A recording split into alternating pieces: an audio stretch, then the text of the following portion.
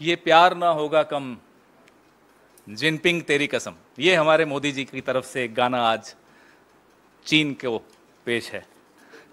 कितने ही कर ले सितम। गलवान में अच्छा ये एक तरफा प्यार है, ऐसा लगता है। मोदी जी का चीन से बड़ा एक तरफा प्यार लग रहा है। वन वे ट्रैफ़िक गलवान में चीन हमारी सीमा के भीतर आकर बैठा। फिर 20 जवान, बहादुर जवान शहीद भी हुए। उसके बाद क्लीन चिट प्रधानमंत्री ने दी। उसके बाद जयशंकर जी ने तो नतमस्तक हो गए पूरी तरह से। या वो तो बड़ी इकोनॉमी है, हम तो छोटी इकोनॉमी हम उनसे कैसे मुकाबला करें? तो जो नुकसान प्रधानमंत्री जी ने क्लीन चिट चीन को देकर पहुँचाया हिंदुस्तान को, उससे दोहरा नुकसान जयशंकर जी के स्टेटमेंट से हुआ, ना केवल चीन को, बल्कि ऐसे तमाम ताकतों को, जो शायद हिंदुस्तान से उनकी अर्थव्यवस्था बड़ी हो या किसी और स्तर पर वो हमसे ज़्यादा मज़बूत हों। अब उनके मन में ये आ गया कि हिंदुस्तान मज़बूत देश पर कभी जवाब नहीं देता, वो साहस नहीं दिखाती हिंदुस्तान की राजनीतिक नेतृत्व। बात लाल आँख की थी, हमने कल देखा कैसे लाल कालीन बिछाए गए। चीन के जो विदेश मंत्री हैं, उनके स्वागत में। आप झूला झूलते, हमें कोई दिक्कत नहीं, मेहमान है, आप झूलिए। लेकिन आज आप एलएसी पर वार्ता चीन से कर रहे हैं। देश की संसद में आप ये चर्चा करना पसंद नहीं करते। सत्रह राउंड वार्ता आपकी चीन से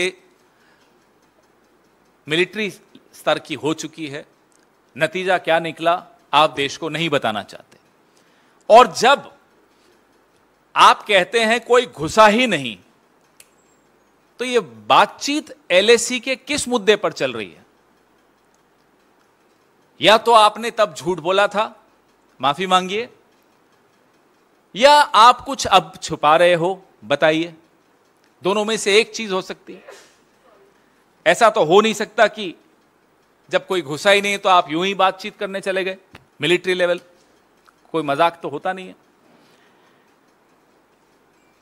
तीन साल पहले 20 अप्रैल 2020 को जिन पॉइंट्स पर हमारी सेना, हमारे फोर्सेस गश्त लगा पाते थे, आज तीन साल होने वाले हैं अगले महीने की 20 तारीख को हो जाएँगे। नहीं लगा पा रहे। पैंसठ पेट्रोलिंग पॉइंट्स में से 26 हमारी कंट्रोल से हा, हमारे हाथ से जा चुके हैं। ये सब सब तथ्य सबको मालूम है। ऐसा नहीं कि कोई पहली बार आपने सुने या पहली बार मैंने बोले हैं। ना केवल कांग्रेस पार्टी के मंच से विशेषज्ञ बता चुके हैं सैटेलाइट इमेजरी बता चुकी है सेवानिवृत्त सैन्य अधिकारी बता चुके हैं। स्ट्रैटेजी जो समझते हैं जियोपॉलिटिक्स जो समझते हैं वो आपसे बार बार बात करते रहते हैं बताते रहते हैं आपको। डेप्सांग प्लेन्स के patrolling points PP ten PP 11, PP 11 A PP 12, PP 13 पे अब हमारे जवान नहीं जा सकते। ये यथास्थिति ये स्थिति है वस्तु स्थिति चीन की हमारी बॉर्डर पे चीन के साथ ये है। और हॉट स्प्रिंग्स और घोघरा में पेट्रोलिंग पॉइंट 15 और पेट्रोलिंग पॉइंट 17 ए हमारे नियंत्रण से बाहर जा चुका है। Chinese foreign minister is on Indian soil. the Indian EAM, External Affairs Minister, is discussing the LAC with them.